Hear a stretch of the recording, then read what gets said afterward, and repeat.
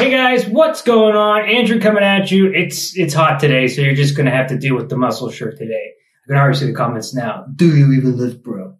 But anyways, um, I was thinking about like criticism, uh, how, and so this is gonna be criticism versus in Sweden versus the U.S. How criticism is given, how countries do with criticism about their own country. So you know, being here in a long time now in Sweden, I have worked in environments where I've worked in a multicultural environment where there was many people working in different countries. And I've worked in environments where like I'm pretty much the only one there that's not Swedish. And I've kind of noticed a trend. I find that for the most part, uh, Swedes, in my opinion, do a better job of giving criticism and receiving criticism. Um, I think, for example, for me, like when I first come to Sweden and still to this day, I take criticism very, very personally, uh, almost like it's an attack on my character. And I feel like in our criticism for us, our egos get involved a lot of the time. Where I feel like criticism in Sweden, because of the way the work environment is, and there's not a big hierarchy system, I think that criticism can be given more honestly. And also in Sweden, you have the jantelagen where you're not supposed to be really better than anyone else. And sometimes that can be a negative, but I also think in the sense that it kind of takes away the egos. I mean, even if you just look at our leadership, for example, right?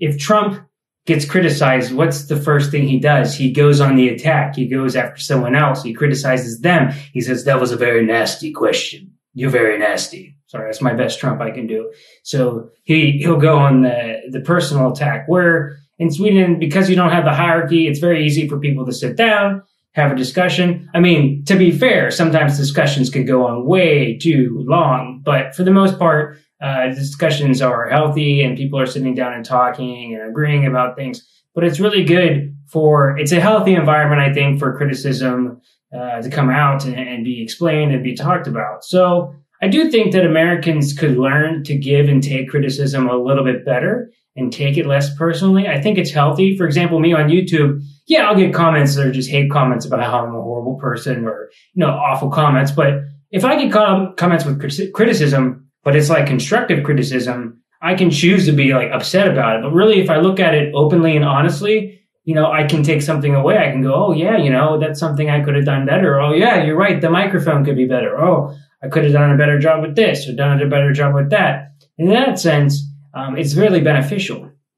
However, one thing I think Americans do better than Swedes, and you guys can disagree with me or not. This is a course. Probably a lot of people are going to disagree with me. But uh, I think Americans do a better job of criticizing their own country, taking criticism from other people from other countries about their own country. And I, I really believe that. Yeah, okay, people get upset, and you see the people in the States like, we don't like it, get out. You know, you, you do see that. But for the most part, in my experience seeing people abroad, I'm not talking about people traveling. I'm talking about people living abroad. They always seem to be like more open-minded about taking. A, I feel like Americans have this like guilt about some of the stuff that they did in the past, even though we didn't necessarily do it, right? So like, I feel guilty about uh, the Iraq War, but like I was a kid when everything was decided and made. It's not like it's my fault that the Iraq War happened, but I do think we feel guilty about certain things uh, we can look at our society and see issues that we have. Currently, obviously, we have a lot of stuff in the news and things going on now. But if you look at shows like The Daily Show that we have, where for years it was nothing about making fun of our, it was all about making fun of our government and things that don't work and things that don't work out.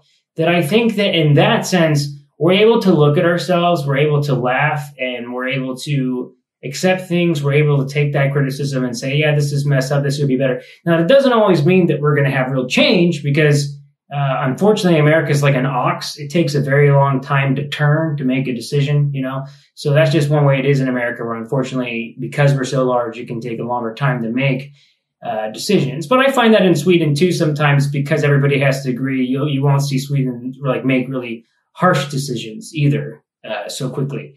Uh, but I think Swedes don't do as good of a job of taking criticism. And this is my experience from having my YouTube channel and no hate or whatever. But I think that it's very important for Swedes to that the, that Sweden is viewed very positively to the rest of the world. And if you criticize them, it's they don't like it. They don't like if someone foreign criticizes their country. This is just my opinion.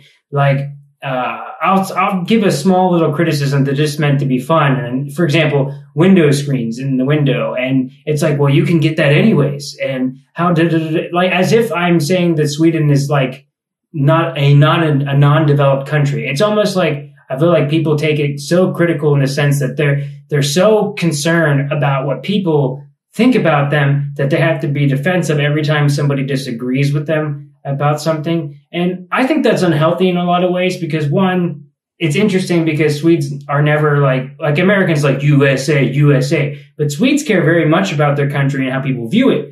But it's very Swedish to not be like telling people how awesome you are. It's like a silent confidence, if you will, of being proud of yourself and uh, you're not going to wave a bunch of flags like the like those Norwegians, but you are going. sorry, Norwegians, but you guys do like uh, have that confidence to yourself. And like I said, it's very important how the rest of the world sees you. That I think it can blind you sometimes from things that could be a little bit better. Like if you could take criticism a little bit more, I'm not saying you necessarily have to change, but then you could look at some things and say, yeah, you know, this could be better, or that could be better, or why, why don't we do this, or, or why don't we do that? So, uh, I don't see a lot of like shows on in Sweden, uh, criticizing Sweden, criticizing how the Swedish government works, because yes, there's a lot of trust with your government. Uh, so you could say that, oh, the American government's not as good. But my point is, I don't see that healthy level. So if I was going to say anything, I would say that Americans need to do a better job of taking personal criticism, not making it about them or being taking it personally and, and making it constructive so they can become better people, better individuals.